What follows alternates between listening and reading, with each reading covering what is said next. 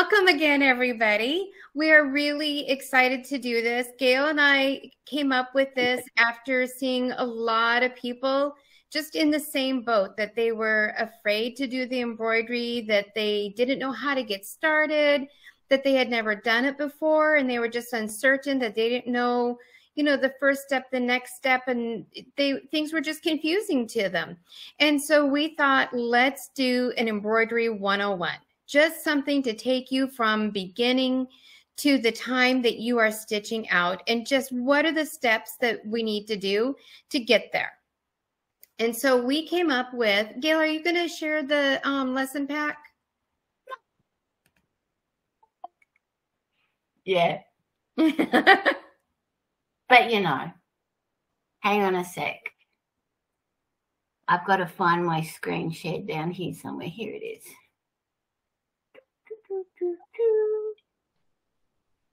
Where's it gone? Okay. Okay, so while she's doing that, so basically we just want you to be able to face your fear and and be able to do all the things that this machine can do because it can do so many things that are really a lot of fun. And one of the ways to get there is by developing a consistent routine. And one of the first things that we're going to do is Gail's going to run you through her routine. And I pretty much have the exact same routine. I do the exact same thing every time I'm switching from sewing to embroidery and then back again. I have a I have a case that just has everything in it and I have, you know, I just have everything that I need in it. I have my feet, I have needles, I have the tool, I have everything I need all right there. And then I just have my routine to do that. Uh, the next thing is that there, um, so Gail's going to take you through talking about threading your machine and about needles and um and then we're going to move on to i believe it was hooping yeah yep i'm just looking at it real quick and then we're going to move on to hooping and i'm going to take you through that and we're going to get you all set up so from beginning to end from threading it and getting in your needle and choosing the right needle and then um, choosing your stabilizer and getting it in your hoop with your fabric. Um, we're going to walk you through all of that. And then you're going to stitch out one of the designs that's actually in your machine. And it's design number six. And we will help you do that when the time comes. So you just need to have four thread colors. And then um, we're going to do that later on. And then after we're all done with that, I'm going to share my screen with you and show you how I download designs that I have purchased and how I get them saved on my computer and then moved over to my thumb drive. So that is pretty much what we're going to do today. And I can actually show you. I did stitch out what Buffy made for us. I don't know if you can see that. Can you guys see that?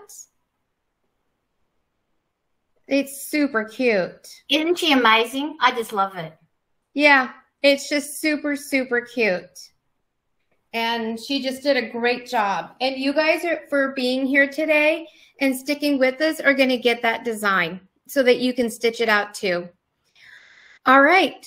So, are there any questions before we get started? You can just raise your hand and pop them in the chat. Like Gail said, since there are two of us here, one of us is always keeping an eye on the chat. And so we can answer any questions that you might have while the other one is talking. So if you have anything at all, just pop it into the chat. All right, Gail. All right. And of course, it's um it's me. All righty. So let me just put that on and then can everyone see my machine?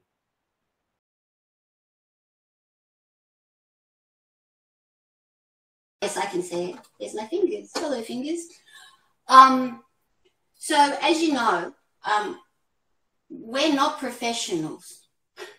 that'll come out clearly. We just love these machines. So anyway, um, what I want to show you is how I was shown to thread after all the issues I had with this twisting bobbin case. You might see that some questions where people go that their needle jams and what happens and then their bobbin case burrs and all that. I hadn't had, well, I'll say I didn't have it happen. I actually did have it happen seven times. I just thought it was what it was me. Um, anyway, when I really, really, really, really jammed it to the point where I had to get um, wire cutters to cut the needle out of my pattern, um, and it was really wrecked. And then all the timing was off, so I took it in. And then I was really annoyed, and I emailed Janome Australia, and their head technician, Lachlan is his name, if you ever want to know. Um, just fabulous. And he was fantastic and stepped me through and worked with my dealer to um, resolve it. Some of it was me, and that was the way I was threading it, um, which was really good to know because I thought I was pretty good at threading. But so I've changed that.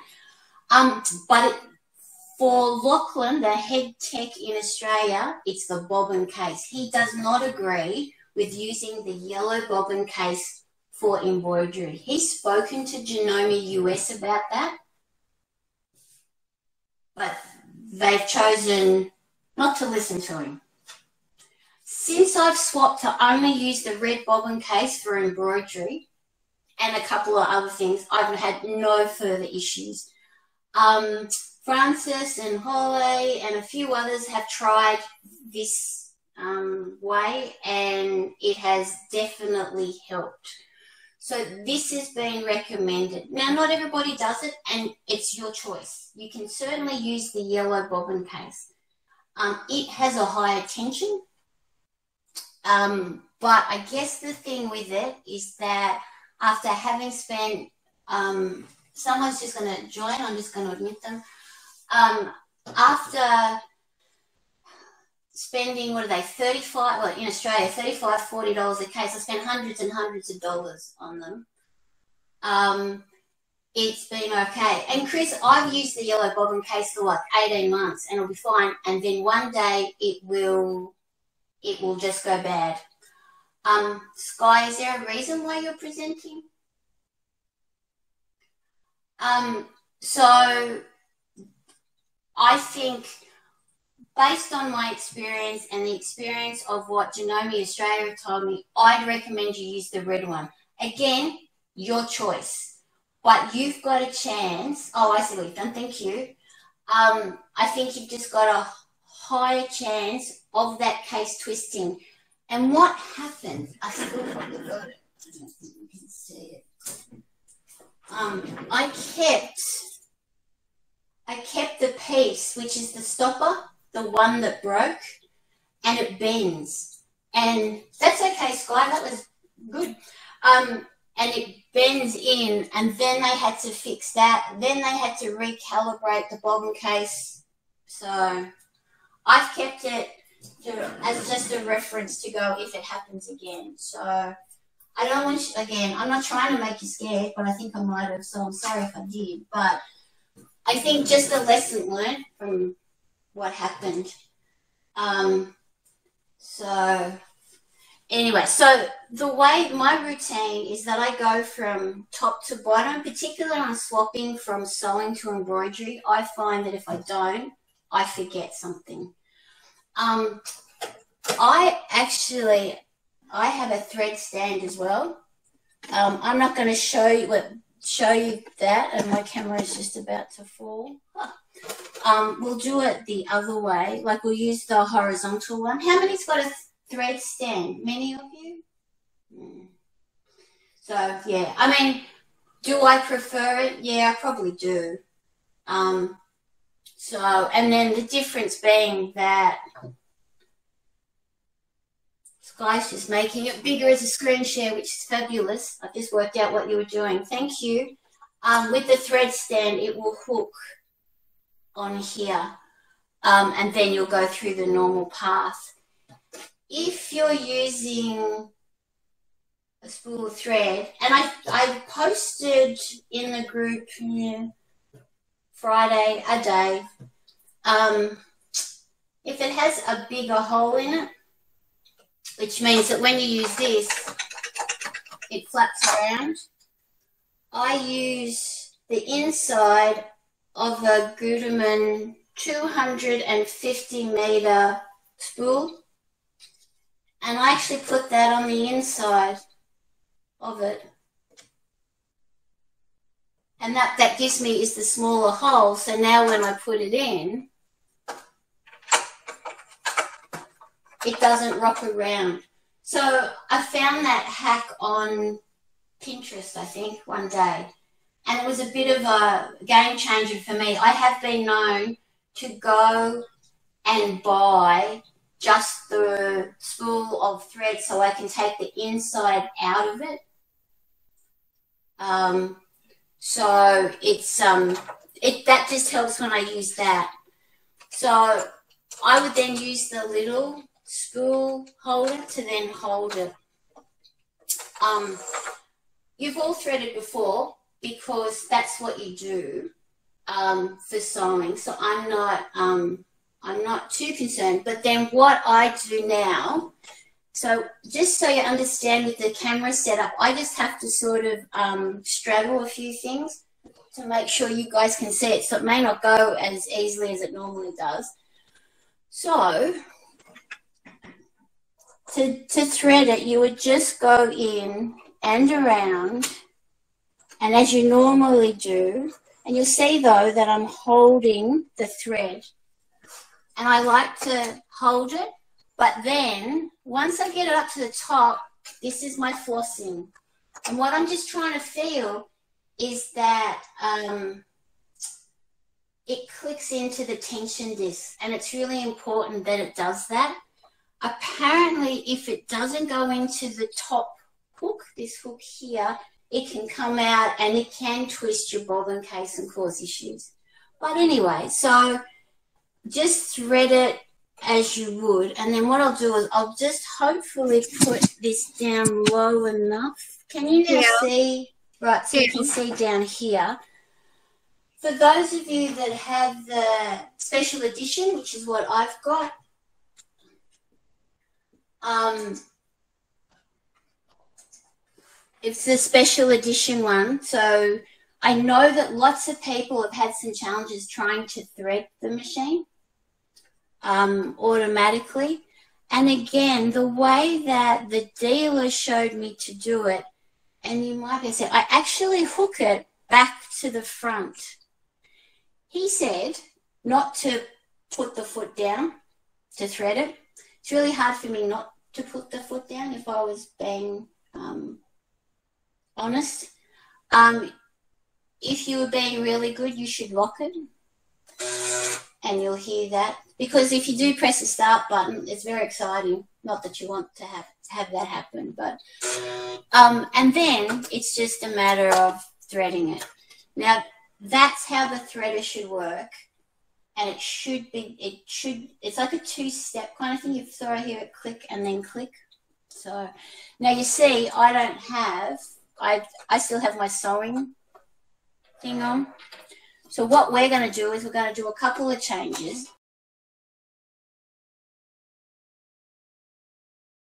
One, I really like to use my straight stitch as well. So the couple of things that I now need to do, I don't have to take it off that way, but I just prefer to. I need to take that off. Have you all got your P foot on your machine? Okay, so if you want to try and put that on now, so you'll need to take, you'll need to take the leg and the foot off. So both of those pieces would now be off. You can take them all off together. It's just not what I do. And then we need to put the P foot on. And so to put that on, if you haven't done it, is just by unscrewing that and then screw that on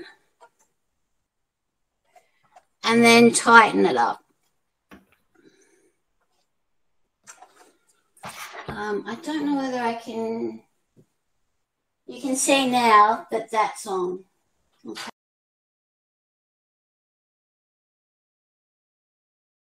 If you've already got your red bobbin case in, you can leave it.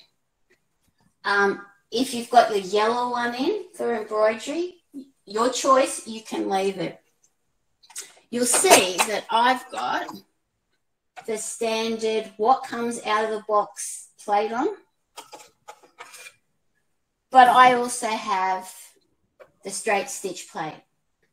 Um, do I prefer it? Yeah, I do for embroidery. Um, I've been known to sew with it for straight stitching. Um, it just doesn't eat stuff. So to change it relatively easily. But again, if you had to swap bobbin cases, it is a matter of just popping it out like that. It's pretty easy. And then putting back in. What I always check is that the red arrow or yellow arrow matches the red dot on the stopper. It needs to do that. And you'll see it does not move. Okay. So I'm going to put my straight stitch plate on. One of the things I love about this machine is how you just have a pop thing to pop them on and off. The 550E, which is uh, it's more than double, I think it's double the price, I have to unscrew it and it annoys me. And I didn't realize how much it annoyed me until I got it and then realized I just assumed it'd have the pop thing, but it doesn't. Um, the machine, when you do put the straight stitch plate on, will tell you that you've got that on. Um, and certain stitches will no longer be there. So let me just put that back. So then, um, this isn't the thread I would be using. Let me just admit, Margaret.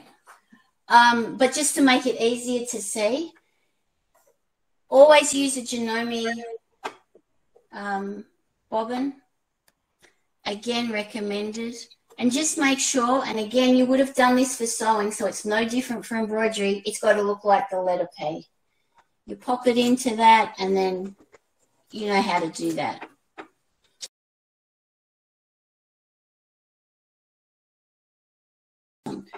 Now, in terms of the needle that I would use for embroidery, um, I probably, oh gosh, 70% of the time using 7511 for just about most things. But, um, and it's where my tech and Janome Australia Tech don't agree.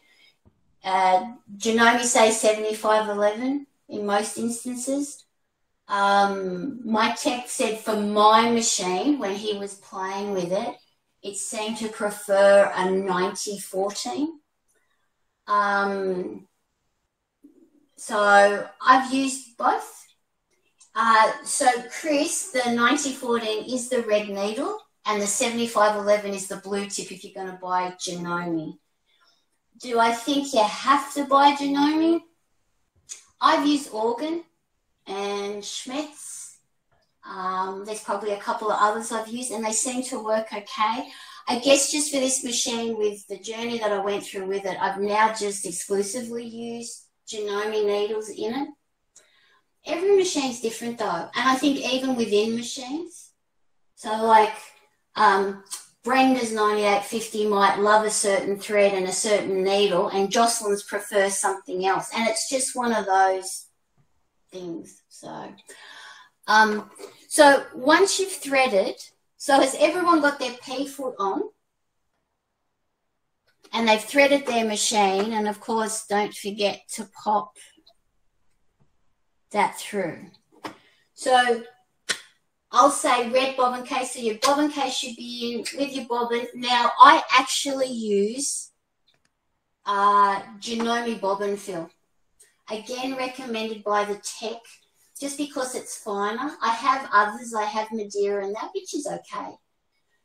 The times that I use that is when you can't see the back if I was doing freestanding lace or something where you could see the back, I would actually use the matching embroidery thread.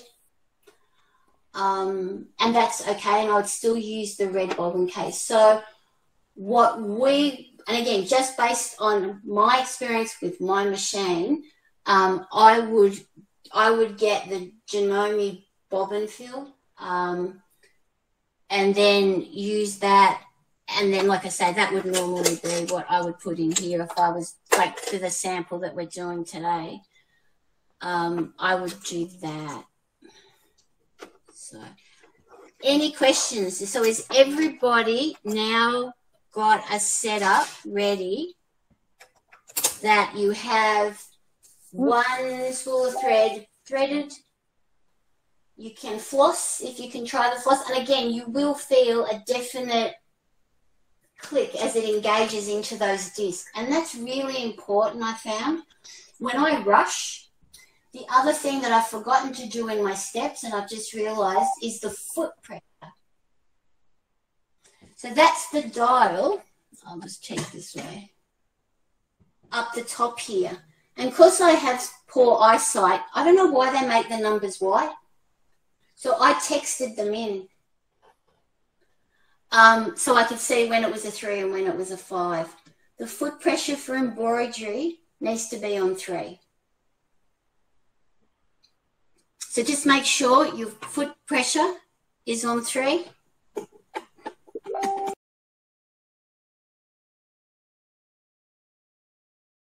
should we put the embroidery model on? Yeah, we're gonna. The short answer, Elaine, is yes. You need to have the um, arm on, which is something we didn't actually list in our thing, Halleh. We should have done that. We'll add that. Yeah. No, oh, you, oh, the, oh, the embroidery unit. Yes. See, we didn't even think of that because we just leave it on all the time. Correct. Okay. Does everyone do have their embroidery on? Do you want to run through that while I try to help a couple people? Yeah, yeah, no, no, no. Sure. I'll just swap over cameras and sound and all that. So give me a second. So you should be able to see. Okay, we're back here. Um, so you'll see at the back here my embroidery arm. And it's a really good point that Elaine brought up because, again, I have mine on all the time and I never take it off except to transport it. If you've never put that on, you will need to do that to be able to embroider. Um, and it is absolutely something we've forgotten to add into the things to do. So um, have a look at that. Is everyone got their embroidery arm on? That is such a good thing. Okay. So for those of you that don't have it on, and thanks for chatting it because it helps, do you know where it is?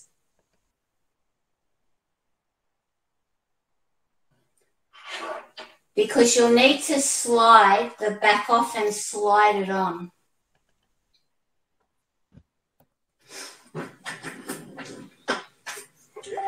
For those of you that do have it on, on the right hand side is uh, at the back is a button. Uh, that you press down and the arm will come out and then you'll hear it lock in. Once you start embroidering more often, like I say, I just never take it off. So it's such it's such a good thing. And again, that's the whole thing.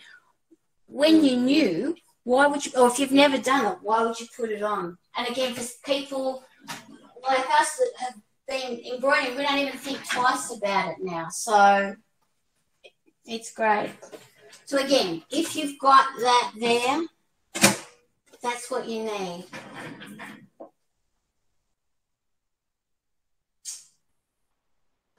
The other thing with the needles, so everybody's okay with being able to swap their needles and things like that. And I think, again, just in terms of what we use for the embroidery, there's a whole other realm about when you start embroidering on t shirts and other unusual fabrics. But for the purposes of getting started, Embroidery 101, 7511s, blue tip, great. You might need a red tip, it just going to depend on your machine, but I would definitely try with 7511. And I've used 7511s on vinyl, suede, fake suede, uh, fake and, and fake leather, calico, every cotton. So it's, they're really quite good, and of course they're sharp. Um, so yeah, so they're the needles that I would certainly try for this. So if you haven't got a 7511 in your machine right now, pop one in.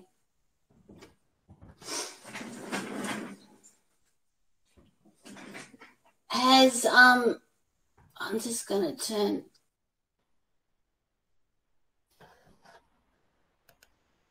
put that one back on. And then I'm gonna I'll just change my layout so I can see all of you because it's easier for me. Okay. Um, alrighty, so has everyone got their embroidery um, on? Thanks, Jocelyn. Well done. You worked it out. It's actually not that hard. And a really good tip it's now going to be several pounds, kilos, depending where you are in the world, uh, heavier. Don't lift it up. You've got the risk that it will, it can bend out of shape. And I learned that. Um, when I took it in for a service, I just lifted the whole thing up, and my service tech almost had five kittens on the floor because he just went. And again, I didn't realize. I just because I'm so used to having it on, I just didn't even think about it. Yeah, Elaine, just just restart it. It should be happy. All it's trying to do is recognize the arm. That's all. Um, so yeah, so just remember when you take it in for a service, take the arm off and keep it separate. So, alrighty. So we're now got a spool of thread. We're threaded. We've got a needle on, and we've got the P foot, and we've now got the embroidery arm on. Yes, we're all good. Happy to continue? No one's screaming or crying or having a drink? Jocelyn, are you having, I'm just having water. Let us know in chat if you need a little extra help with it. Okay. It's over to you for the next step. All righty.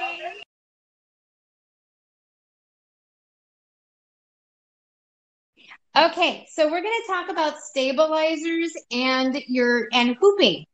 So, um, really, there are a lot of different stabilizers out there that you can find when you go out there. It can be kind of overwhelming, but we've broken down to the four main types of stabilizers. There's the cutaway stabilizer, which I have here. So you can, can you guys see that? Is that, yeah? So this is the cutaway stabilizer. You have to use scissors to get it off of your project. But if you are using something that has any kind of give, any kind of knit, you're going to want to use cutaway in order to have a stable design. If you are using something that's super dense, you might want to use cutaway also. So the cutaway, this is a really big roll of it that I got. Um, there we go. This is a really big roll of it that I got from Brothread on Amazon. It was a really good price and I like this one a lot. The other one is, oops. The other one is Tearaway. Um, the other one is tearaway stabilizer. So you can see on the backs of these pro- of this project where I had to cut away this stabilizer, but on the back of this flower you're going to do, all I had to do was tear away at it and it came away clean from the back of my embroidery design. So that's really nice if you are doing it on towels or something that's going to show the back. If you're doing it on vinyl, like marine vinyl, you can use tearaway because it's heavier. If you're use if you're doing something that's a heavier fabric, you can use the tearaway. But if you're doing something that's lighter or has give, you want the cutaway. And so then what we also have the last kind is wash away. And if you go into the store, there are a couple different washaways. This one just feels more like a fabric. It's soft and feels like a fabric. And this is just the Kimberbell washaway stabilizer. And then this one feels like a plastic. It's like a heavy duty plasticky feel. And I've used this one for doing freestanding lace, and it works really well for that.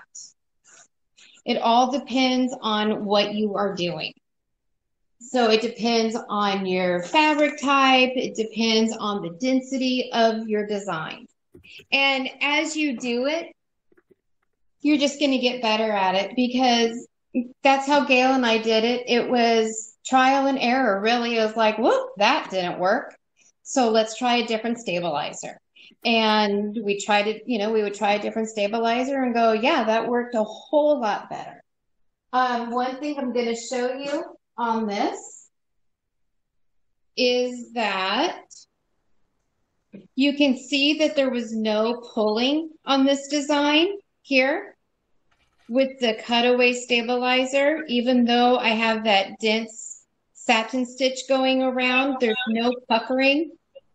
But with the tearaway on this really lightweight tea towel, there's puckering around my design. I don't know if you guys can see that. But there's puckering. So I would have wanted to use two layers probably of the tearaway stabilizer. So let's move on to how we do it. Hello, can you just try and put that the daisy closer to the camera? Yeah. If possible. Yep. It's easier if you. I can't do it because I can't work out left, right, front, back, sideways. Uh, Yeah, almost, almost, almost got it.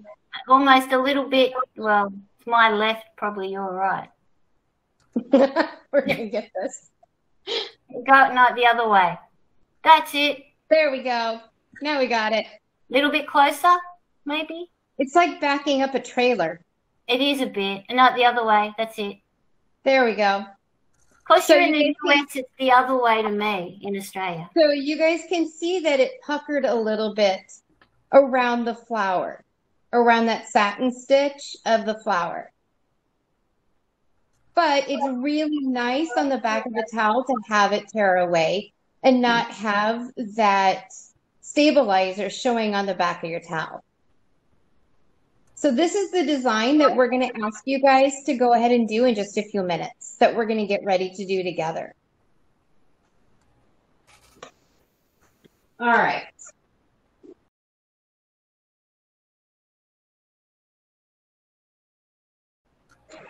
So you just need your SQ14 hoop.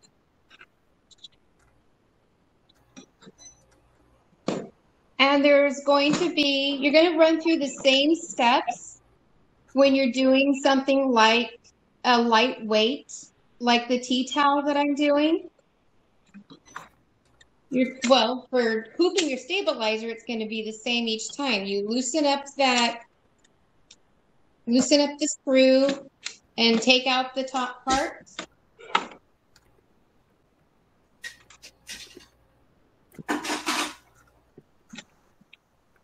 In order to in order to measure my stabilizer, I just set the this the insert on top of it. And we like to have some overhang. So I'm going to put my hoop like that on it. And then just cut away. Holly, the wind here is um, howling. So if I disappear, I've lost power. Okay. I told you you're not allowed to lose power during this. I know. I'm just listening to it, but living right on Bass Strait, I don't have a lot of what happens. So anyway, should okay. be okay. But so now we should all have our stabilizer cut. Are we good?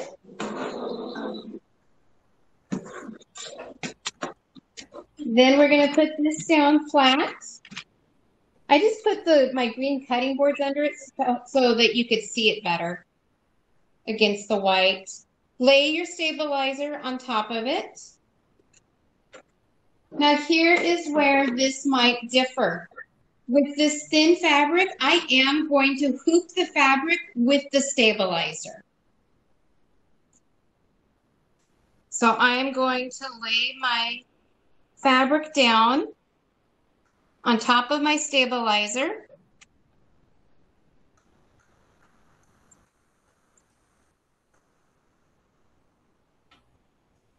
And, you know, as you get more experience, it's going to be easier to know where you're putting, you know, how placement and everything.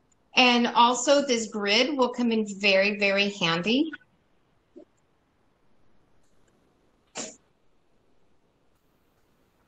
All right, it looks like we're pretty much caught up there. And then you're gonna take the insert and you're just going, make sure you have it so that the L is on the top left. Your, your the screw should be loose enough that that goes in. And you wanna make sure that you're, you don't have your fabric bunched up, that it's pulled kind of taut in there. And then you're going to go under and tighten that screw up. They recommend not to use the screwdriver to tighten that screw up. I yeah, just that, hand tighten it. But it, yeah, but it can over time snap it. Yeah. Um, you uh, don't need to tighten it terribly much. I mean, it doesn't, you don't want to over tighten it. Just hand tight is good. And so now we have a nice embroidery field all set up. Doing vinyl on here instead of fabric that you are hooping with it. All you have to do instead of hooping it with it, I have a piece of vinyl here that I was going to show you. I need a smaller piece.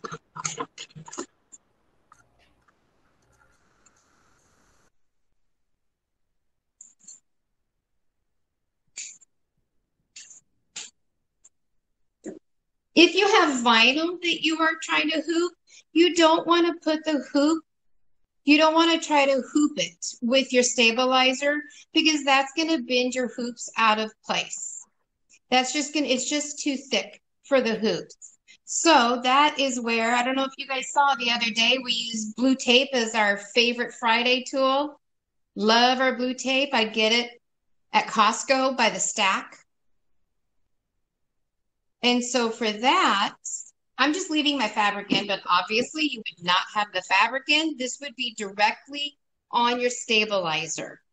So you would put your vinyl in and onto the stabilizer, you just use your blue tape to hold it down. Like that.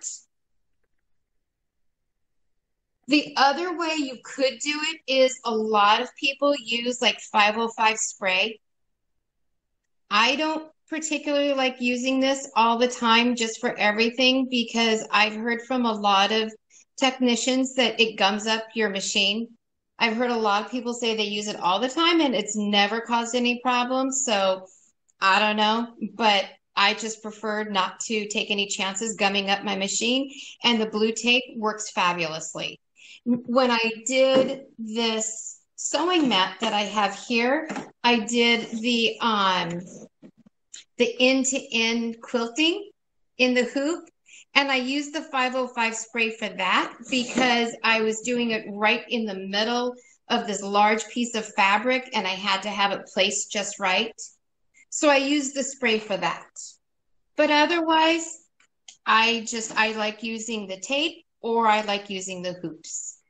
There is sticky back stabilizers. We're There not is. talking about them in this session because we we could drown you in information of the rabbit hole of stabilizers. Yeah. Um, and it is another option. But for today, we'll just get you to start an embroidery and get your confidence, and then you can start to look and venture into those.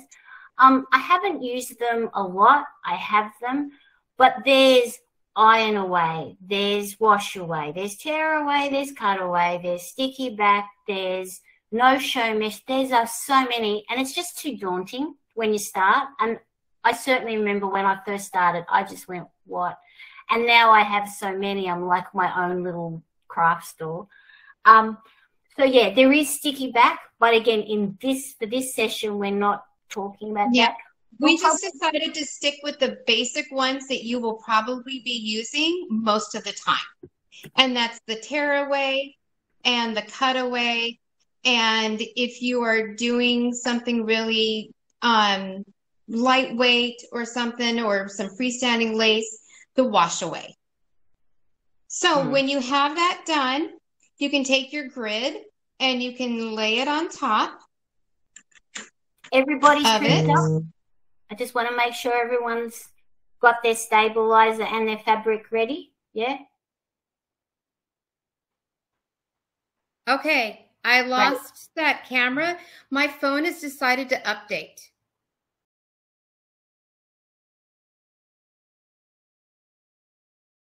So I'm going to try to use this camera. I don't know how well it's going to work, but we're going to go for it and try it. So now we're going to put it on the machine. So you have your fabric and your stabilizer all hooped. You put your grid on. And you don't want to leave your grid on when you're stitching. I did that the first time. I went, oops, that didn't work. So you're going to take, But that's such a, that's a good point though, because it kind of when we started, it kind of made sense that that had to be on there. Again, why I don't know, but it just kind of felt like it I, I put it on like, oh, I must need this. Exactly. And I Yep. put it on and went, oh, I just stitched that to my fabric. fabulous Yeah. Yeah, unhelpful. But um, Yeah.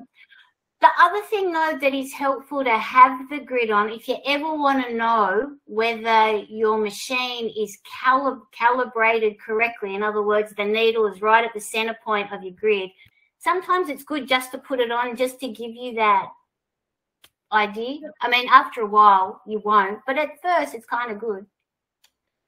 Okay, so okay. So to put it on your machine, you Gail walked you through getting your embroidery unit on, and you might have to, in order to get the hoop on, you might have to lift up your foot a little bit to get it to glide under there easier. You also need the embroidery arm now sticking out, so unlocked. Right. This needs to be open. This part needs to be open. Now, this black spinny, know, what would you knob is going there's a hole on top that you can see on the embroidery arm and this fits down inside of it. And when you get it fit down in there, it's just going to drop in and when you get it,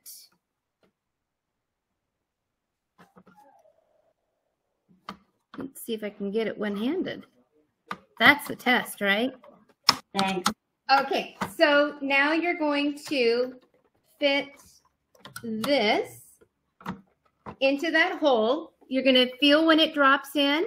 You're going to turn that knob and it locks it in there. So now this doesn't wiggle around at all. Thank you. You may go.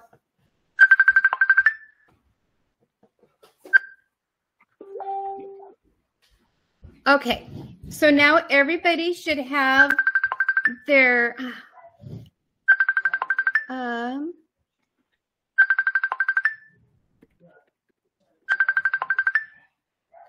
So now everybody should have their hoop locked onto their machine and your machine turned on. Hang on a sec. Elaine's just got the the she's put the knob on, but my needle is too low. Uh, use the hand crank on the right to lift it, raise it a little bit. Yeah. Should be in the highest position, especially when you're going to thread it. Right. Did that work, Elaine? Oh, so it is at the highest position. So that's kind of weird. So did you use, can you use the hand crank if you open, well, you don't need to open that up, but if you use the hand crank, you might get it to go up just a tiny bit more. Who's calling who? Uh, Joanne is calling me.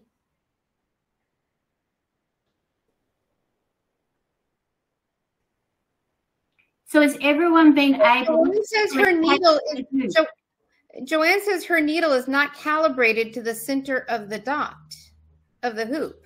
Um, it it may or may not be, but it may be that the grid needs to move a little. I wouldn't, for the purposes of this session, worry about it. It's going yeah. to be more important when we're like if we were doing a follow up one and we needed to get something dead center, then I, I will look at how to calibrate. But you know, it's that's okay. I wouldn't stress. It's okay for today. It sure is. All right. So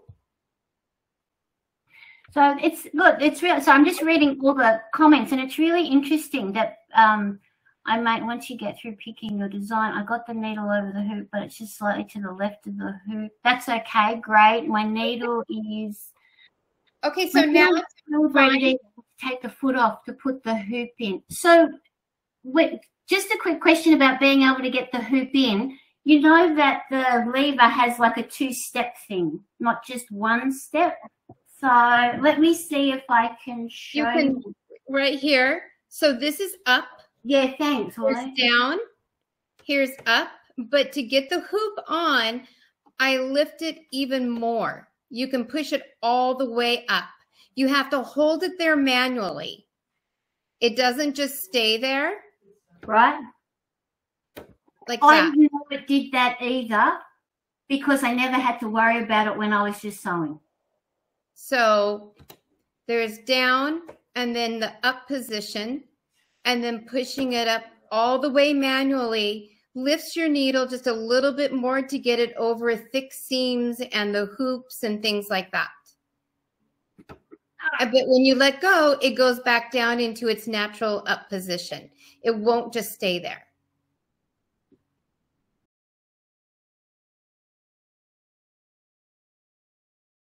Okay, so now the reason you have the hoop is, well, first let's get your design on.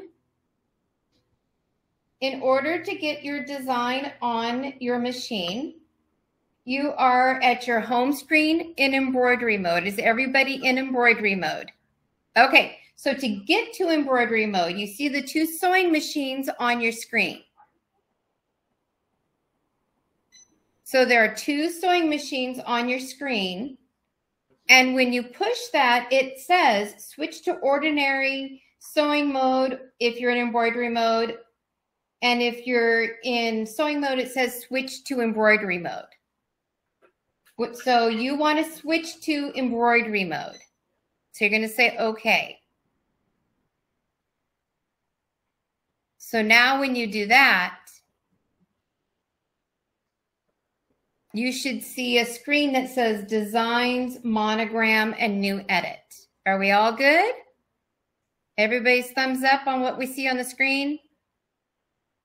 All right. Most So people. how many of you is this the first time you've ventured into embroidery designs?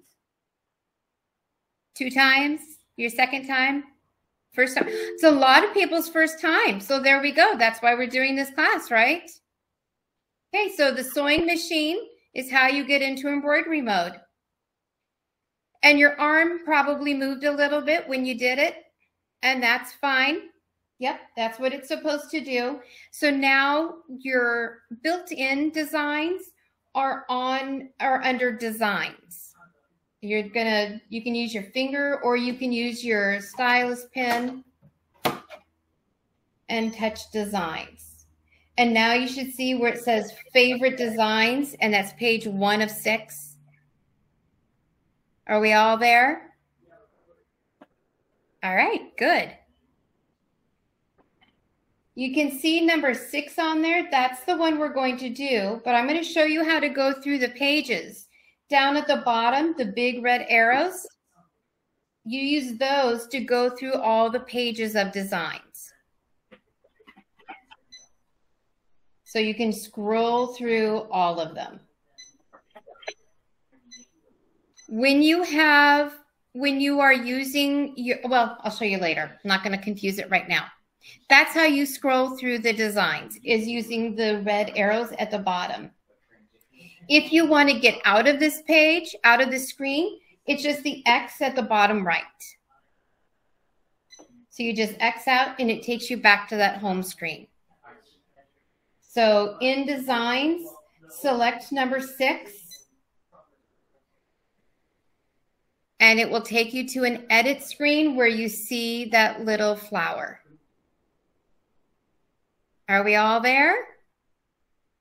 All right. Now you'll see where the grid comes in useful. You can see on the screen, on the edit screen, the grid on there, and it will tell you where in your hoop it is going to be. So you could move that flower using your stylus all around, and you can use the grid in the hoop with the grid on the screen to see exactly where it's going to be in your hoop. So if you just touch it with your stylus and just start moving it around, it will go. You can put it wherever you want within that within that grid. Hang on a sec. Uh, Diana, you say you don't have the grid on your machine or for on your the one that comes with On your the-? She's typing. It's okay. I can see her typing. and Amy's raised her hand also. Oh, okay. So, Diana, on your screen, let me just go back to design. there was a setting. If you go right down, so where the uh, design is that we're doing, down the bottom on the right hand side, there is like a grid. Yeah. That's okay. It's a great question because you, you don't know. Amy, what can we do for you? I have a yellow um, caution triangle that says SQ14A 5.5 times 5.5 inch. What does that mean? It hmm, Are means you that able to turn your camera around so we can see what that looks like? If that's possible, that would be amazing because I'm so visual. Isn't that just telling you which hoop you're supposed to use for this design? I think so. I'm pretty sure. Almost there. almost. Almost the other way. Your other. Oh, that's it. That's Okay. fantastic. Oh yeah, That's- just telling you which hoop you need to that um they say you can use with this design. So I can just hit OK. Yep. Yeah. You can just yeah. hit okay. like a, yeah, a check and balance to go. This one will fit into the SQ14. What you wouldn't want to do is possibly use a design that fits the 20 on a on a in the, the smaller hoop. So it's just a bit of a check and balance to go. Have you got the right hoop? The machine doesn't Thank know the machine doesn't recognize which hoop you have in. So if you select a five by seven design, but you have this smaller hoop in, it's just going to go. So it puts that on there to remind you, check your hoop. Make sure you've got the right hoop.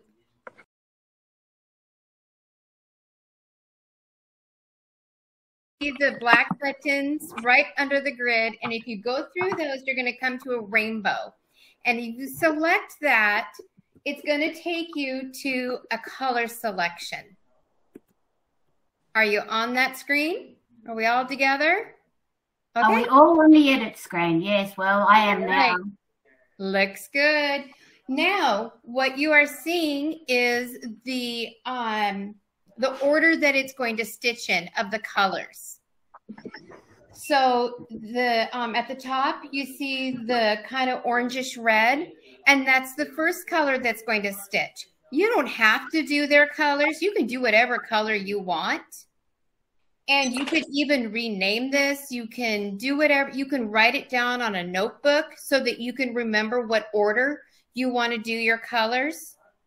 Or you can just use, when you're into the stitching screen, use the daisies and then that will show you, that will show you the next color in the order. Right, right. And so for this, you arrow through and you can see the, um, you can see all four colors that are going to be, you're, you're going to be stitching and you can see the order that they're going to stitch in. I, no, I don't think I can. So. Are we all there?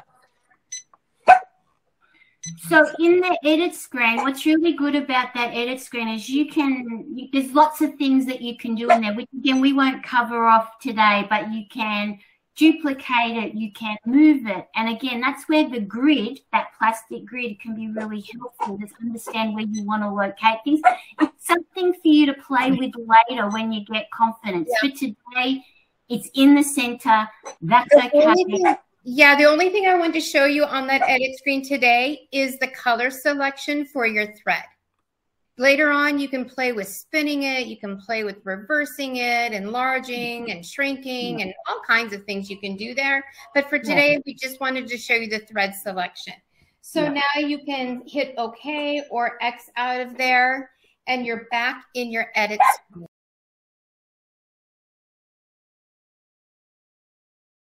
go to, so this is not where you're going to stitch from. To go to your stitching screen, you're going to hit OK on your edit screen. Okay. All right, that's good. Okay. Okay, so now you're in a screen where you can see it, but the grid is gone. You can see just our daisy or whatever flower it is. And you can see some numbers down below. You see their whole design there. You can see that it's telling you to make sure you have your P foot on. Are we all on that screen? Yeah? Oh, I see a lot of thumbs up. Good. I have mine set at 500 stitches. Hang on, Amy's, Amy's not there. Where are you, Amy? What's up, Amy? I'm sorry. I hit a wrong button and I, I lost you. So could you just tell me again real quickly? I'm sorry. How sure. you got to where you are? Sure. So when you're on the edit screen, you can see the grid and the flower, right? In order to get to the screen that you need to actually do your stitching, you're going to just hit the OK. And then it's going to take you to a screen that says ready to sew. You good? Okay. We're good, Okay, awesome.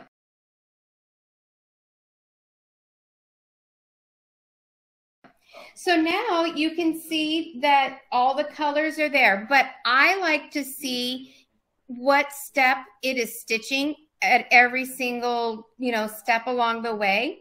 In order to do that, do you see the arrows on the right-hand side? There, there's the up arrow and the down arrow. And if you select one of those, it's going to take you to another selection of buttons and there are a couple of daisies there. Do you see that? A button. So touch that, select that. And when you select that, it's going to take on the screen, you're only going to see the color that you are currently stitching. Diana, that's the one you're looking for. Yeah. So now you are only seeing the color you are currently stitching. Alrighty. My issue before was that I was in the wrong screen, so I'm wondering why. Like you're always going somewhere else, so it's all right. I'm off on a Don't tangent. I guess. Don't mind me. Okay. I am, let me see if I'm, I am all threaded And here. I love that little and big daisy. I absolutely love. I live on that to go what's next. So then while that's stitching out, I'll get the next color or Yep. like stuff like that. There are some people with other machines, they've got, and the 550's got it, it's got like a little arrow thing that shows you where you're going next. And people go, oh, but I love that. You know what? I just do not find that of value at all because I don't care where it's going next. I'm more worried about I'm now doing the red or I'm now doing the green. So Yep. it won't go there by default. So just make sure part of you that's you use. It will Um, always go to where you can see the whole design. So you're always going to have to select that daisy in order to see individual colors. Colette's saying help. Oh, it Colette. didn't take Okay, Colette, we're going to help you. So did it did you not get to the ready to sew screen? So Colette, oh, you're back in the edit screen. Okay. So do you see the okay button? If you click on the okay button, it will take you to the ready to sew screen. Uh, let me see if I can pull my laptop around and I just need to unplug it. Do you want me to, do you want me to see if I can move mine? Mm, I got it. Will your phone not do that? My Sure. phone died for some reason. Do you see it? Yes. Okay, let me, How are you going to manage that? because I'm clever. I know you are, but Okay, so fun, guys. so there's the edit screen that everybody was on, and here are those arrows that I was talking about. Here is the OK button to go to the ready to sew screen. So click on that, and that tells me what hoop I need to have on. So OK. And then Colette's I'm- there now, which is great. But keep going because I think that's worth it. Okay, so now I'm on the ready to sew screen. And here are my daisies. When I first get on it, this is what I see.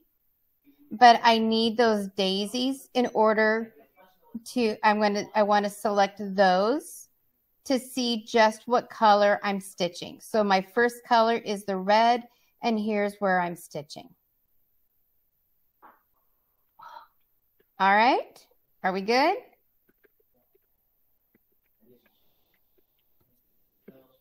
Gail, is that visible? It is. Sorry, I'm just giving Jocelyn's husband my breakfast order. That's well. I'll I'm not sure how it'll come from Brisbane to Tasmania, but let's not worry about that. Will he come to Seattle? Possibly. He seems quite nice and helpful. All right. Oops. And now I lost. Okay. Okay. So now we should all be on the ready to sew screen. Yeah. Yes. Okay. Good.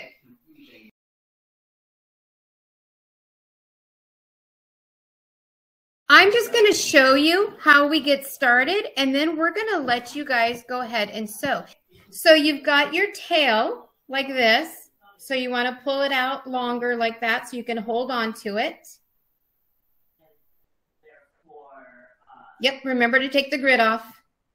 Oh, yes, take the grid off. Don't be like me the first time and sew it to your fabric. And then I was mad because here I had this shiny new grid and I put a bunch of holes in it. Okay. So the first so next thing you're going to do is you're going to lower your P foot.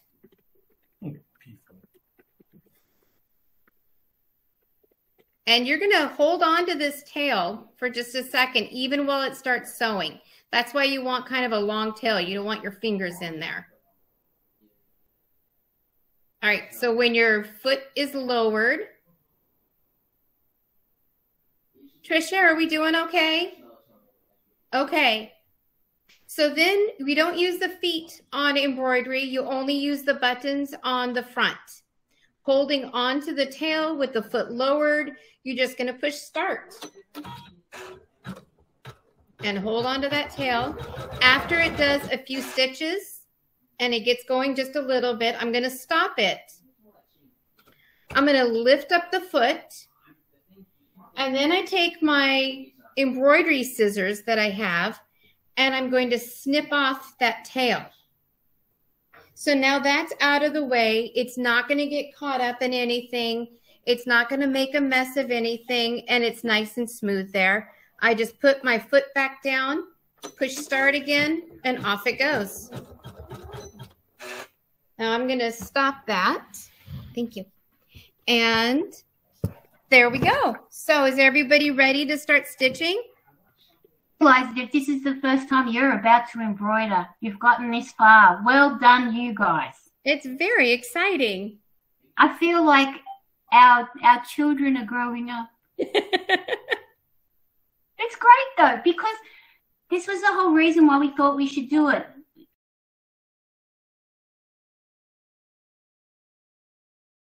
Trim the thread when it's finished. It should trim it to the bottom. It should that- cut it. It's at the top, but not cut. Can you show us? Oh, wait, I to turn my camera on. Oh, no, you were on, Vanessa. Now you're off. Oh, poo.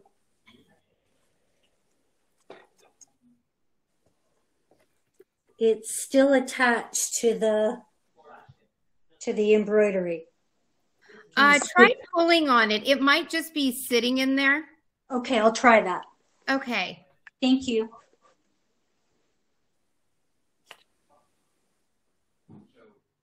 You're right. Okay, good. Thank you. You're welcome.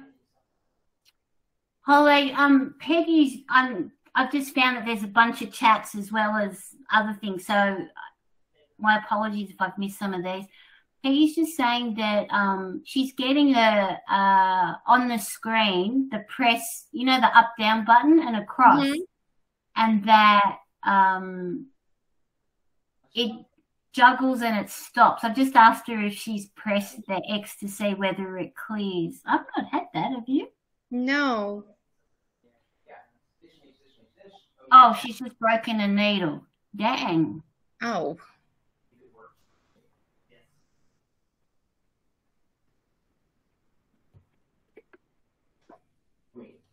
Oh, Elaine broke her thread broke.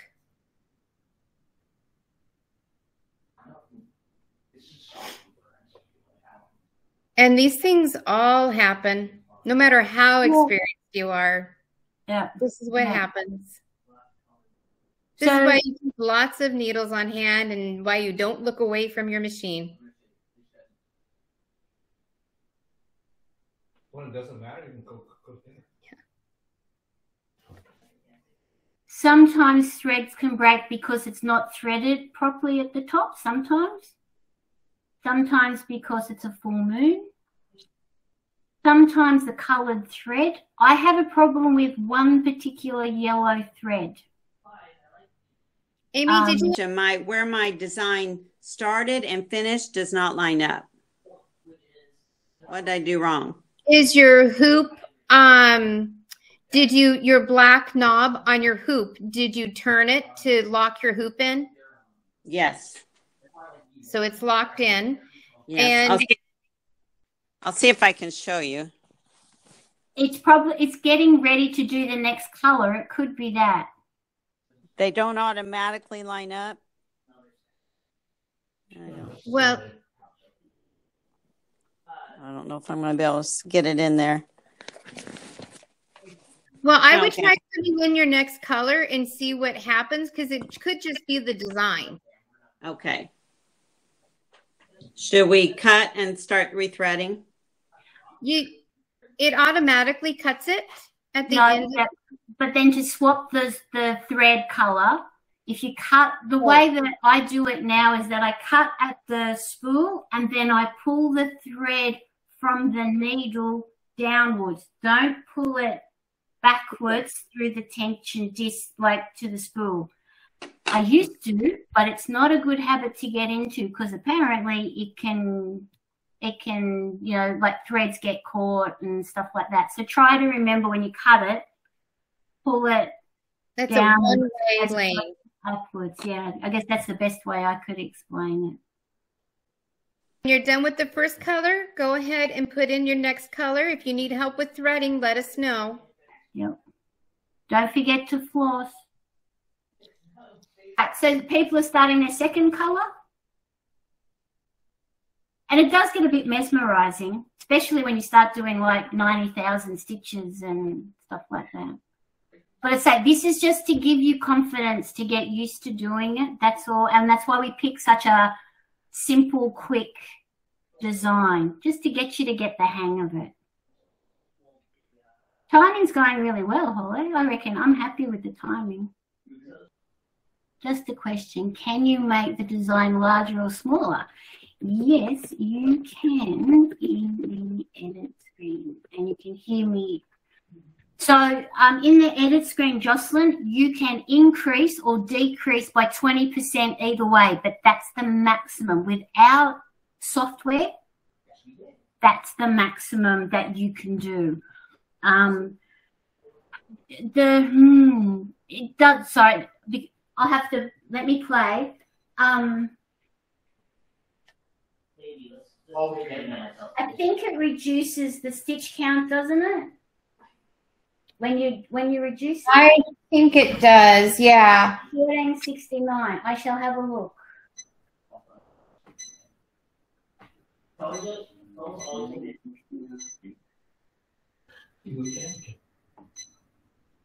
No, it doesn't. So when you reduce it, it does not change the stitch count. So it can that will change the stitch quality potentially.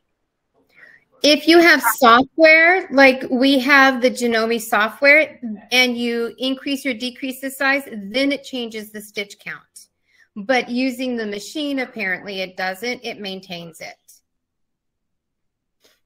So I've heard a lot of digitizers, like Gail said, we are not professionals at any of this.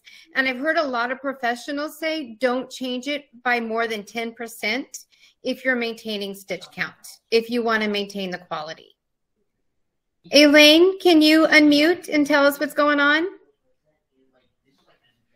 I don't see her on my screen. Hello. Oh, there she is. Hi. I don't know what happened. It kind of it took all of like my bobbin, which is white, and put it to the top because I'm using a gray. Uh, So my design here is like white mostly, and then it sort of stopped, and then it moved over to this way, and then, oh, this machine. I've embroidered before using my brother and I haven't had any trouble, but I'm just struggling with this machine. So it seems to be right over to one side. Can Yeah. you can that's okay. Let's let's work on it together. Can you go over to your screen where the design is and just go into the edit? So down Mhm. to the grid on the bottom right. See ah yes, you can see where it is. Okay. So you've moved it, which is fine. That's okay. Um because the original design was in the middle, but that doesn't matter because it will do that. Okay.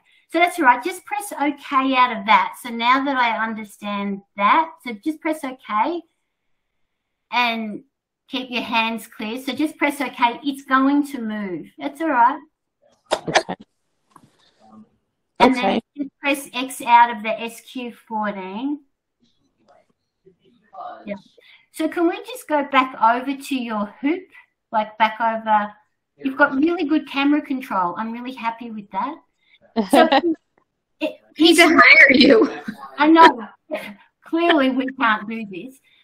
So, Elaine, is the hoop locked in properly? Because you'll see that it's actually sitting not correctly. What size hoop have you got there? Is that the SQ14 or the 20? It's That- the 14A. Okay. Your your hoop is yeah, it's crooked. It's at an angle. Yep. So you need It to go back and unlock though. it. Yeah, It- I so it- I put it in and I locked it and then it doesn't move. Like once I lock it, it won't move. It shouldn't move. Okay, Okay. so relock it again. You might. Okay, so Oh, the- oh, it, it just did it. yes. Okay. Perfect. All There right. you go. Can, Ah. so your fabric can is that tight? I'm just again. I'm just trying to look at it. It looks like it's got some bumps and waves, but that could be the fabric. I don't know, Elaine. It's just a um a cotton piece. Is So- it tight in the? So it it is tight. So that was the first thing. My my fabric or my hoop was not correct. Yes. So it needs to, to know that you've got that locked in correctly. It should look like how it does now, and Okay. it should not move. Okay, perfect. So, So, what? yeah, I that must have um, not been locked in right. Yes, which has probably put everything a bit bent out of shape. So Okay. just up the top is your foot pressure. You know the dial up the top. Is that on three? Yep. Perfect. Alrighty, what I would probably do for you is I would start again. Now you'll see your P foot, your knee, and is up in the corner where it probably should be for where you located the design when you moved it. Yep. So maybe um I can recenter it. I just was doing that because my hoop wasn't right, so I was trying to Yeah. move it. that location is absolutely fine. Don't stress about that. I'm more worried that the hoop was out of alignment for you because yeah, that's it's not going to end well. Okay. So, so can you just go back to your screen again? I just want to see what step you're up to. Look at this. You are going to be our camera person from now on. All right, so you're back to step one, I think it is. Is that what it's highlighted? One?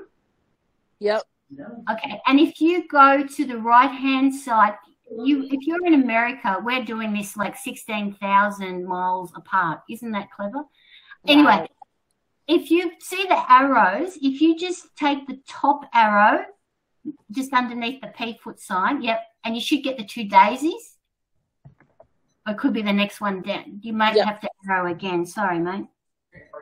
That's Um, okay. if you've got the two daisies, press the daisy again. Oh, you've, so you can just see the red. Fantastic. I would suggest that you rethread just to be careful with your top thread okay. and have another go. And let us know what happens. Well Okay. done, and thank you Thank for you us. so much. Cool. I really appreciate it. Thank you. This is what this class is for. We don't want you to hate it. And it is different to a brother, though, just so you know. Yeah, a lot different. It is. Thank Yeah. you so much. I appreciate it. That's okay. See how you go. Okay.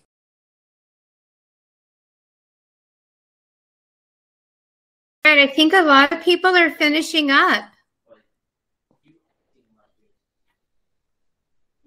Well, I didn't know. it. So when you are done, you get to the very end. It's going to cut that stitch at the very end also. And what you're going to do to take it off is just the reverse of what you did to get it on. You're going to lift up on your your presser foot and then you're going to you're going to turn that knob to loosen your hoop and then you're just going to lift that up. Thank you. You're going to lift it off and then remember you can lift up that foot even higher to get it to come out so then it's going to be, oh, I forgot that I was still attached because I was stitching. Jocelyn, fantastic. You see, you can do it. We got oh, it. Like Oh, now I'm jealous. Aw. Woohoo. You deliver to Seattle? Fantastic. Okay. For a delivery fee? Diana, how did you go? Good? Okay, so Every- now you should all you can all have your hoop off. In order to get it out, we're just going to do the reverse. You're going to loosen that screw. And lift out your insert and then take your fabric off.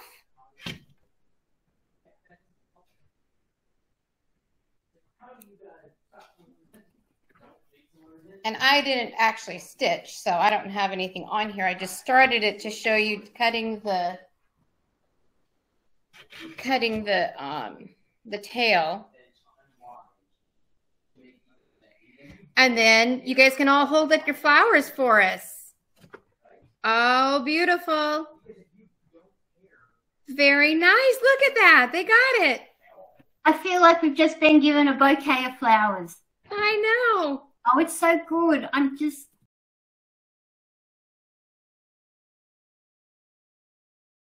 So now I'm going to show you some um, how to. I'm going to share my screen with you and show you how to download and save designs that you've purchased online. We have an album of um, designers that our members and our admins have um, tried and we have discovered work really well because there are designers out there that they're like, "Mm, you know, they're okay. And then there are designers out there that you stitch them out and you're like, that's a really good one because it stitches smooth and everything turns out polished and wonderful. And so if you find one and it's not listed in our album, we'd love to have you pop it into that album because we want to hear about them. So a lot of the designers will have free you know freebies that they have.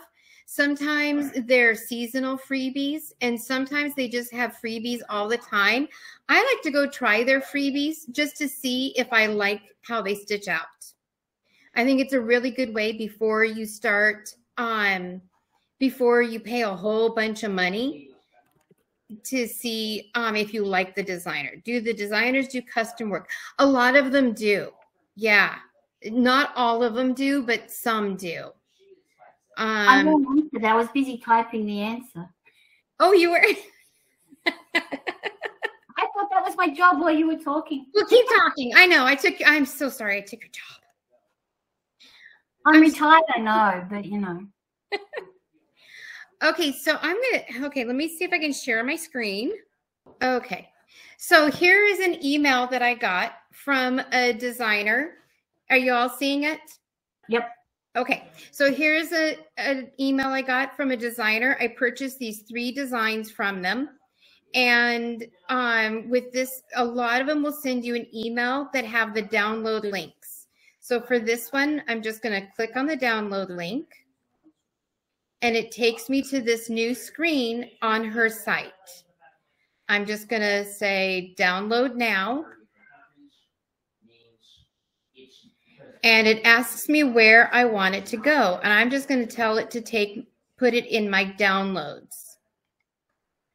So then I have to save it.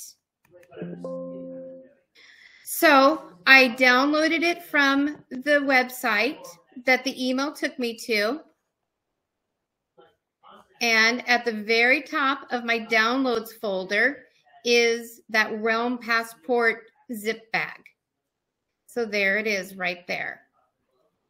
Now, when I do it, I like to minimize this screen so that I have just half of it up.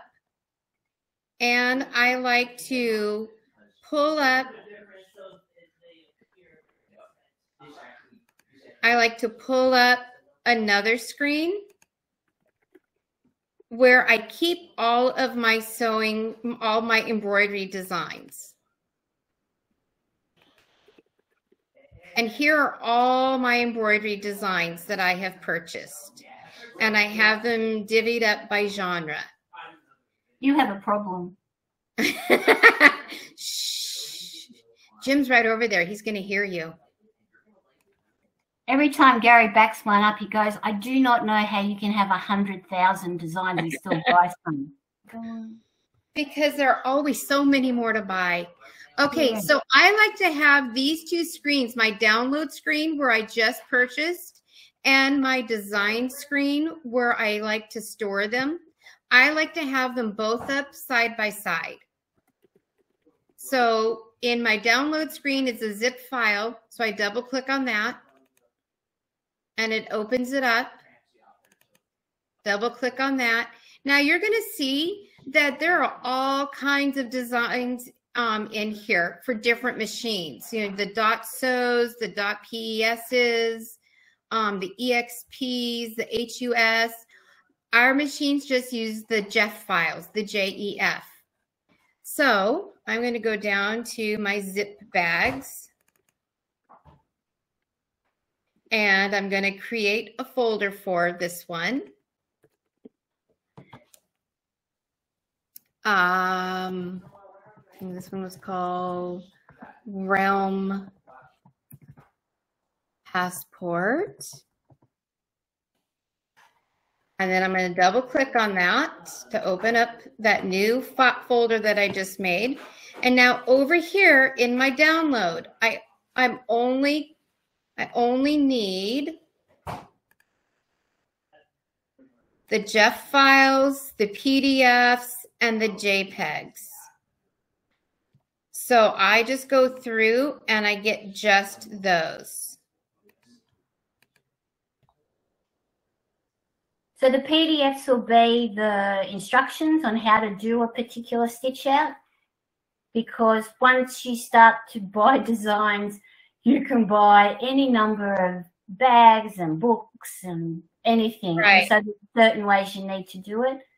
Um, they'll also have files that'll show you the colors, the stitch numbers, even I think how much thread it takes, doesn't it, per color? Some of the designs. Yeah, a lot. They'll tell you what colors, how much, how many stitches for each step, everything. Yeah. So now that I've selected just the files that I need, I right click on it, I copy, go over here to my designs folder. Sorry, I'm getting notifications. Right click and then paste it. And then these are just the files that I need for my Janome machine. And there they are saved on my hard drive. Now, when I want to put them on my thumb drive, I'm going to plug my thumb drive in here. And it automatically pops up when I um, when I plug it in. On my thumb drive, I also have it divvied up by genre. A lot of people just put the ones that they are going to stitch out right then on their thumb drive and then they take them right back off again. I don't do that, but you know, it's just a matter of personal preference. So I'm going to put them into, let's say, And you've already formatted this thumb drive in your machine, haven't you? I did. We should have shown that, and I did not. I don't have one to format. I meant to go buy one. Do you all know how to format it? We can show you. Really easy. All right. Once this is I would finished- like to know. absolutely. we Okay, can do so as soon as I'm done doing this, let's show them how to format that. Yeah, yeah. So I'm just going to put it into here. I don't need these things. I'm just going to get rid of them. Okay, so now this one on my the um the folder on my left here is my thumb drive folder. And on the right is my hard drive. I'm going to take just my JEF files. And I'm going to copy those and go over to my thumb drive and paste them over here. So my thumb drive just has the JEF files and all my JPEGs and PDFs are on my hard drive. The other thing that I like to do, and this is this might just be me, but I'm going back to my downloads here, the download folder where it's the zip file. I like to keep every single zip file that I've purchased just in case I ever get another machine. And so I have a folder called zipped files. And I just have all the zip files I've ever purchased. And then if Uh, something happens to any of my files or anything like that, I can just go to this folder and find the original.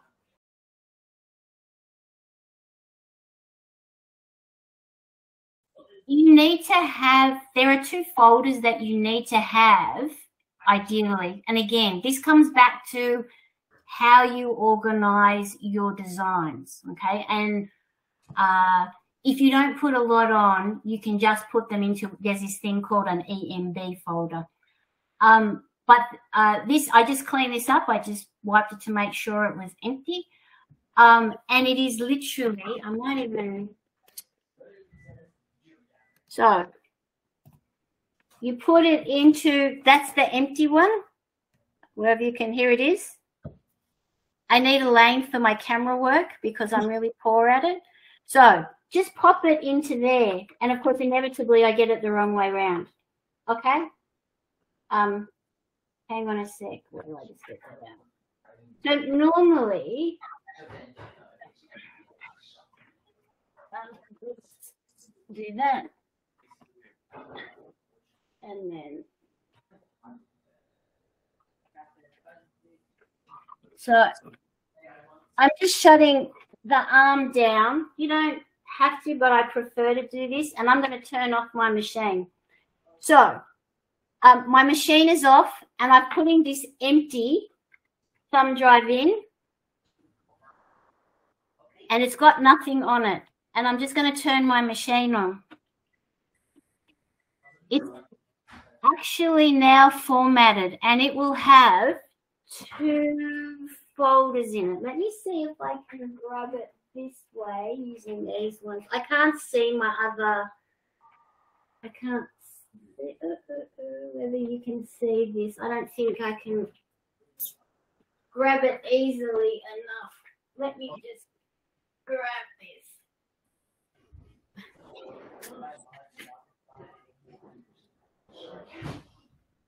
So that it's that easy to format, believe it or not. And then I'm going to let me just turn my camera around. Okay.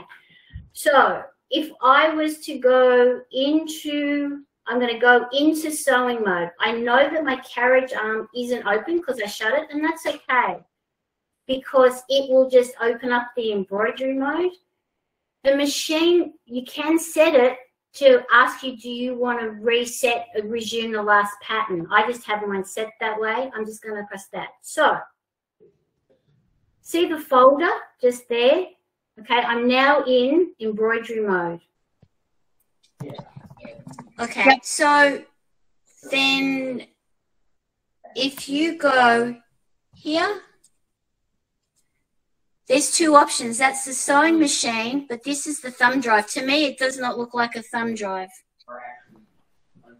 I don't know. It looks like a light bulb, but it's not. It's a thumb drive.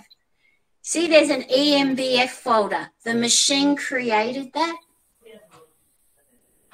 The machine created that. Can you now hear? Yep. Yeah.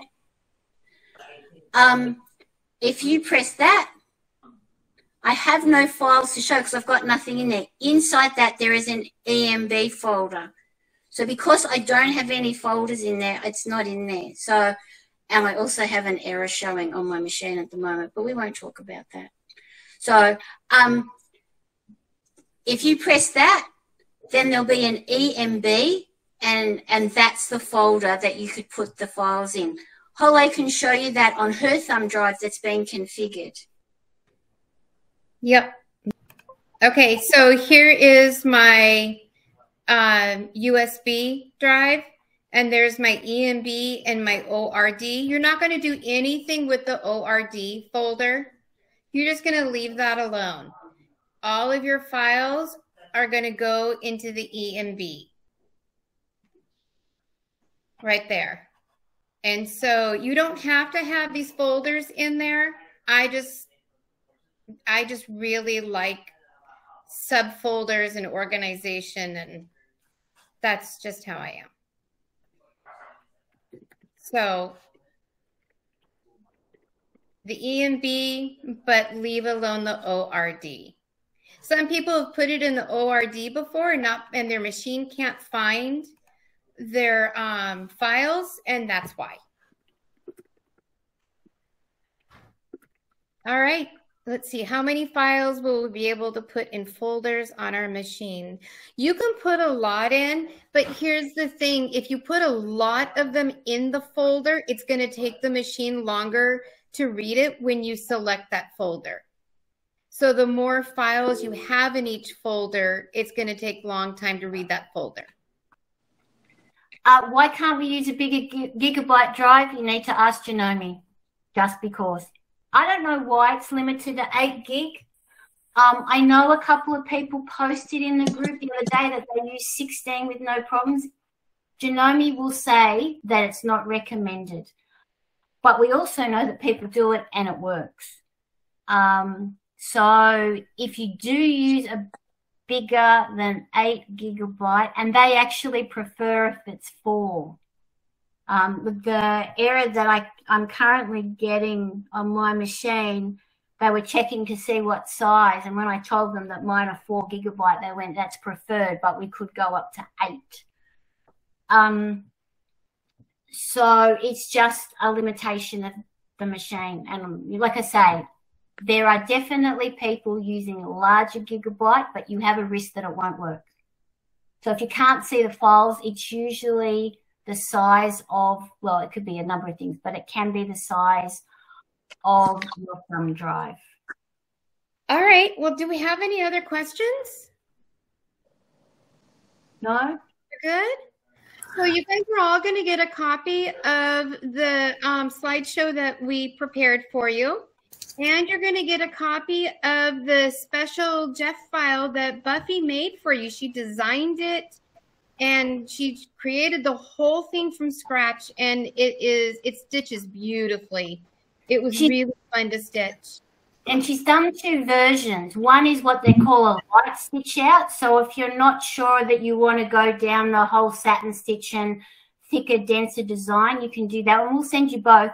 And then there's a it does satin, it does all sorts of great stitching. And the, her reason for doing all those was to show you how how detailed the machine can embroider. Um, and if you do it, love you to share it on the group. But if you do have any other questions, that's no no problem. Just ask. Uh, we just hope that this session was of value to you. By the fact that you've all been able to do daisies, I'm going to say I hope so.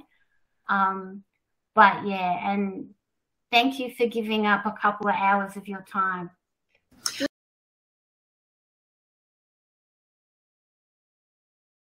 I do have one more question. Sure. Could you show me how you move your embroidery bar back to your machine? I seem to oh, problems with yeah. it. I don't want to really so the way you do that is you want to you're gonna um, hit that those sewing machines again on your um, screen. Ooh, look, I have the helper. You're gonna hit those sewing machines on your screen. You know it's got to go down over here to go. I need to X out of there. Sorry and it's going to say switch to ordinary sewing mode. And I'm going to say, okay. It's going to go back into its home position. The arm is.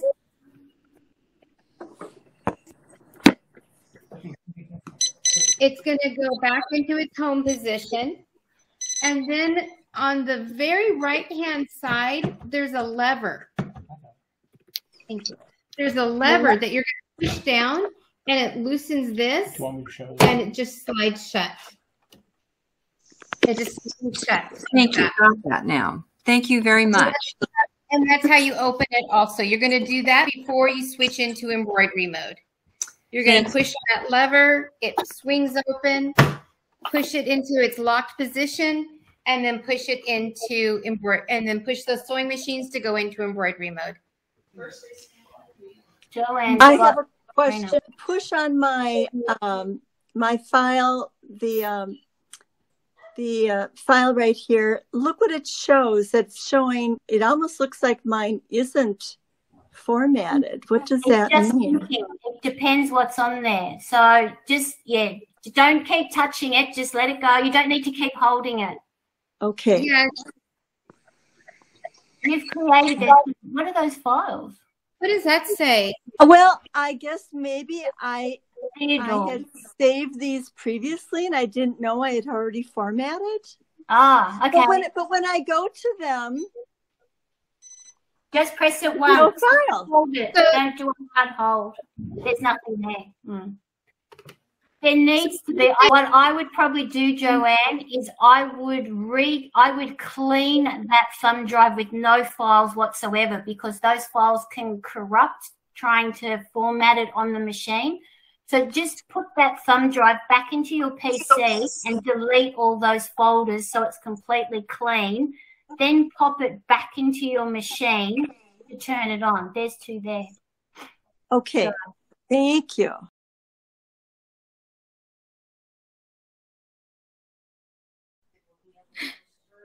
Um, if you've got nothing else, I just want to thank you for your time, and I just hope that you found this learning lesson worthwhile. Um, we'll do some others. I guess just now that I hope you've got some more confidence um, with doing embroidery, and it's not as scary as you think. But this is what uh, we want to be able to do for you: is be able to give you different things and learn different things. The machine can do so much. But I just hope it was worthwhile and it's given you some confidence. So, like, thanks again for your time, guys. Thank you for coming. Thank from you all over all. the We're world. really Thank appreciate it. Thank you so much. for And we'll, and we'll send the Thank recording. you. What's for dinner? Hungry? Oh, he's showing you embroidered the hat. Very nice. Janet embroidered the hat. Oh, really? Yeah, that's what he was showing us. Oh, look. Oh, Look at that. That is so cool. Did you just do that?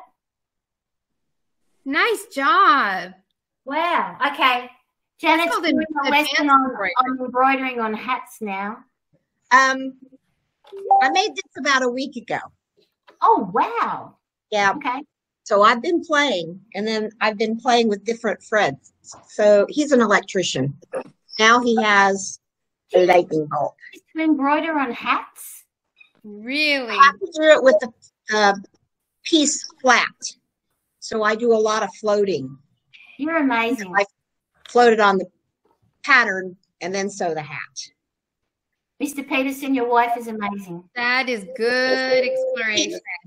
That He's kind of really- spoiled. If I ever need an electrician, I'll call you. Will you come to Australia? Yes, we would. All right. I'll escort you there. Oh, there you go. Good. Thank you very, very much for your time. Hope Thank it was a you. pleasure. I'm sure we'll meet again. If it's not in the group, it'll be here. But thank you, guys. thank you.